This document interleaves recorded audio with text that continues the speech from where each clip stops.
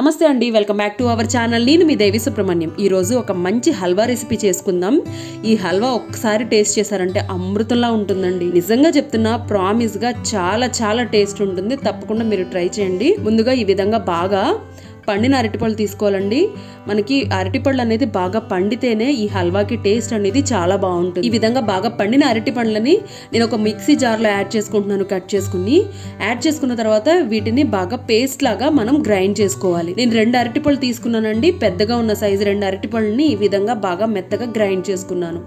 ఇప్పుడు గ్రైండ్ చేసుకున్నది పక్కన పెట్టుకుని స్టవ్ ఆన్ చేసుకుని ఒక పాన్ పెట్టుకుని ఒక రెండు టేబుల్ స్పూన్స్ వరకు నెయ్యి యాడ్ చేసుకున్నాను. పావు కప్పు గోధుమ పిండి యాడ్ చేసుకున్నానండి. ఈ గోధుమ పిండిని మనం ఈ నేతిలో బాగా వేయించుకోవాలి. లో ఫ్లేమ్లోనే మనం దీన్ని ఫ్రై చేసుకోవాలండి. గోధుమ పిండి నేతిలో వేగితేనే టేస్ట్ అనేది చాలా బాగుంటుందండి.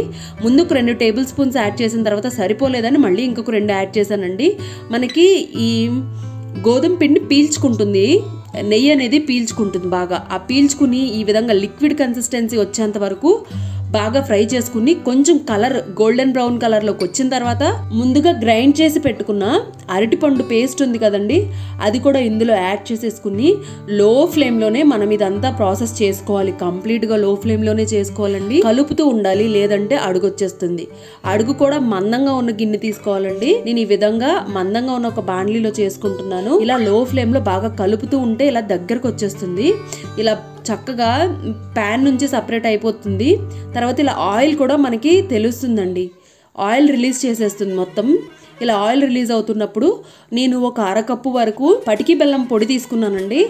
పటికి బెల్లం అయితే మనకి హెల్దీ కదా షుగర్ కంటే. సో అందుకని పటికి బెల్లం పొడిని కూడా యాడ్ చేసుకుని లో ఫ్లేమ్లో బాగా ఫ్రై చేసుకుంటున్నాను. ఇది నో షుగర్ హల్వా అండి.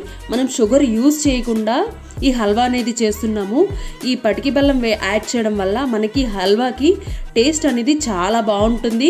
తర్వాత షుగర్ పేషెంట్స్ కానీ లేదంటే పిల్లలకి పెట్టినా కూడా ఎటువంటి సైడ్ ఎఫెక్ట్స్ అనేది ఉండదు. చూసారా ఈ విధంగా బాగా ఫ్రై చేస్తూ ఉంటే మనకి కలర్ అనేది ఇలా చేంజ్ అవుతుంది. ఇది పర్ఫెక్ట్గా ఉడికిపోయిందండి. మనం ఇలా టచ్ చేసినప్పుడు మన చేతికి అంటుకోకూడదు. అలా ఉన్నప్పుడు పర్ఫెక్ట్గా రెడీ అయిపోయినట్టు. ఇప్పుడు మన దగ్గర ఉన్న డ్రై ఫ్రూట్స్ యాడ్ చేసుకోవాలి. నేనైతే జీడిపప్పు తీసుకున్నానండి. జీడిపప్పు జీడిపప్పుని కూడా ఒకసారి బాగా మిక్స్ చేసేసుకుని పక్కకు తీసుకోవాలి. ఒక గిన్నెలోకి తీసుకుని ఇలా అడ్జస్ట్ చేసుకున్నాను. అడ్జస్ట్ చేసుకుని ఒక టూ అవర్స్ పక్కన ఉంచేసేయాలండి. పక్కన ఉంచిన తర్వాత ఈ విధంగా రెడీ అవుతుంది. అసలు ఈ హల్వా అయితే ఎంత టేస్ట్గా ఉందోనండి. మీకు తప్పకుండా నచ్చుతుంది. మీరు ఒక్కసారి ట్రై చేయండి. రెసిపీ నచ్చినట్లయితే తప్పకుండా లైక్ చేయండి.